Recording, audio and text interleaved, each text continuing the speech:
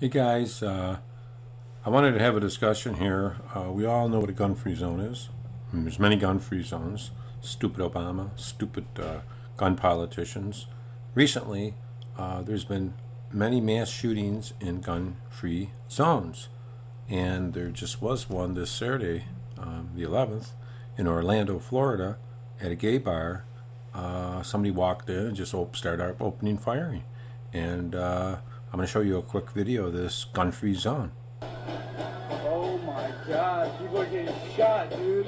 Get out of here. Oh my god, dude. Firing off shots. Now we see this was a gun-free zone, and I don't know the stupid uh, lawmakers.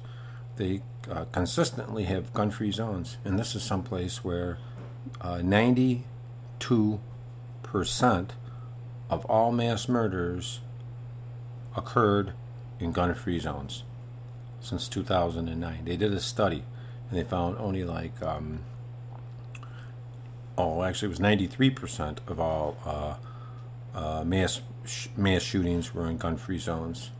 Um, you know, the movie theater, uh, Holmes. He said that uh, he wanted to go there because he didn't want to get shot. Uh, look at the Naval Yard, where we had uh, multiple soldiers killed. That was gun-free, and uh, one was a marksman. The guns either were locked up or they didn't have them on them.